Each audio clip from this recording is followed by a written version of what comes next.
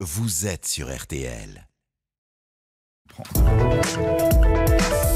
C'est donc aujourd'hui aussi que doit s'ouvrir le procès en appel de Redouane Faïd pour le braquage d'un fourgon en 2011, mais des incertitudes planent notamment sur la tenue du procès du pro de l'évasion. Bonjour Jean-Alphonse Richard. Bonjour Yves, bonjour à tous. On vous retrouve chaque soir entre 20h et 21h pour l'heure du crime, mais aussi le samedi pour vos confidentiels de 13h30 à 14h30. Et vous allez nous aider à comprendre les enjeux de ce procès. Euh, Dites-nous Jean-Alphonse, pourquoi ce procès est-il si particulier? Eh bien tout d'abord parce que Redouane Faïd aujourd'hui reste le criminel le plus connu en France. Hein. Il a participé lui-même à la construction de sa légende, qui est contestée parfois, mais il n'en demeure pas moins que c'est une célébrité. Et puis deuxième point, euh, c'est un homme qui s'est déjà évadé euh, deux fois. Euh, avril 2013, l'île Sequedin, juillet 2018, Réau, en Seine-et-Marne. S'évader une fois pour un criminel, c'est déjà beaucoup. Alors deux fois, c'est exceptionnel. Du fait, le, le, fait est qu'il y a aujourd'hui des, des, conditions de sécurité exceptionnelles autour de ce procès. Hein.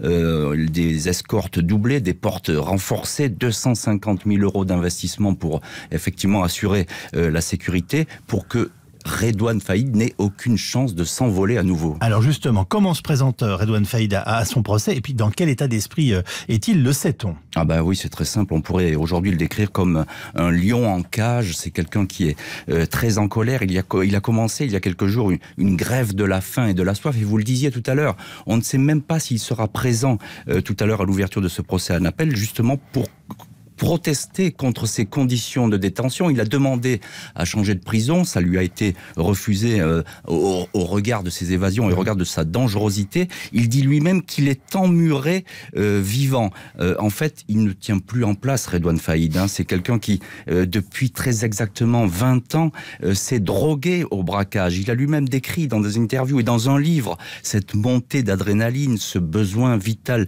de braquer avec ces attaques de fourgon qui sont très spectaculaires et dans lesquels il est acteur, mais dans lesquels il est aussi euh, spectateur. Il a besoin, lui encore aujourd'hui, de cette odeur du braquage Alors, et il ne tient plus en place. On, on comprend, vous écoutant, que Redouane Faïd est addict au, braquage. C'est son seul moyen d'exister finalement. Oui, c'est même sa raison de vivre. Hein. Il suffit pour cela de regarder sa trajectoire. C'est très simple. Premier braquage, celui d'une petite agence bancaire, alors qu'il est en terminale. Il est, il est lycéen, Redouane Faïd. Et puis, euh, les braquages, effectivement, ne vont jamais cesser. Toujours plus risqués, toujours plus euh, spectaculaires. Premier fourgon attaqué, c'est en 1997 à Villepinte. Et ce jour-là, c'est très important pour Edouard Faïd parce que euh, il franchit un cap, il entre dans la cour des grands. Hein. Le braquage de fourgon, c'est vraiment le graal pour euh, pour les criminels. Euh, et puis il va, ça, la légende est connue. Hein, il va s'inspirer de fiction, de films, hein, de, Michael Mann, par exemple, Hit.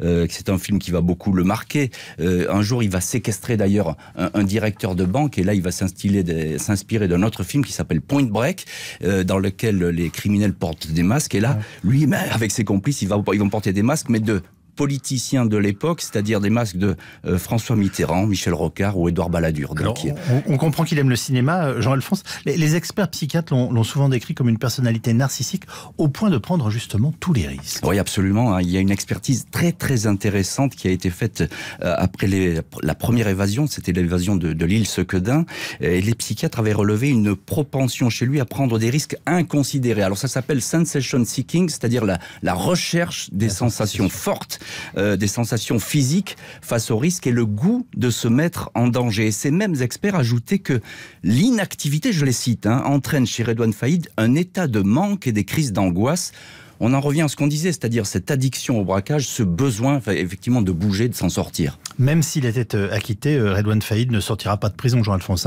Euh, donc quel pourrait être son avenir? Oh bah Écoutez, je, si la prison ne le brise pas, ça va être compliqué pour lui, parce que dans les 20 euh, années qui viennent, il va sûrement rester en détention. Ce qui est sûr, je ne suis pas dans sa tête, hein, à Redouane mais ce qui est sûr, c'est qu'il a une obsession aujourd'hui, c'est de s'en sortir à tout prix. Et pour cela, il doit réfléchir à nouveau à un nouveau scénario d'évasion. C'est tout à fait probable. C'est dans la logique du personnage. Donc, on reparlera peut-être de lui, mais en tout cas, euh, dans, les, années qui viennent, il va effectivement rester euh, en, cellule, au moins pour les, les, 20, les 20 années qui viennent. Incroyable personnage et incroyable profil. Merci beaucoup, Jean-Alphonse Richard. On euh, retrouve de 20h à 21h ce soir, on vous retrouve pour l'heure du crime qui sera consacrée à l'affaire En un clic, réécoutez vos programmes préférés 24 h sur 24. Rendez-vous sur RTL.fr. Merci d'écouter.